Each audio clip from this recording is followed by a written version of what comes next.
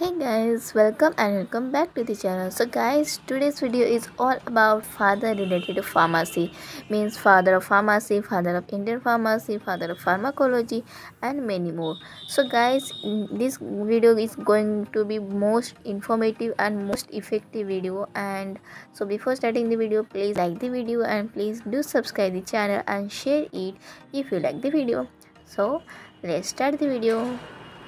so as you can see the first is father of pharmacy so father of pharmacy कौन है Galen G A L E N Galen so Galen हमारे father of pharmacy है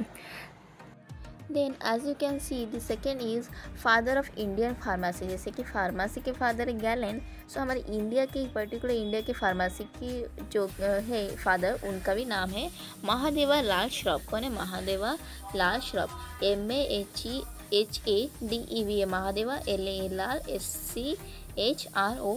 Shroff Mahadeva Lal Shroff is the father of Indian pharmacy. Then third is father of American pharmacy. The father of American pharmacy is William Proctor Jr. William Proctor Jr. So, father of American pharmacy is William Proctor Jr. Then father of pharmacognosy, C.A. Sidler. So father of Indian pharmacy कौन है हमारे C A Sidler then father of pharmacology pharmacology के father कौन है Oswald Oswald Schmiedeberg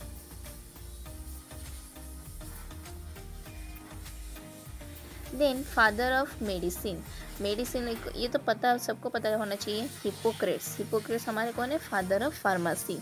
sorry father of medicine Hippocrates हमारे कौन है father of medicine then father of Indian pharmacology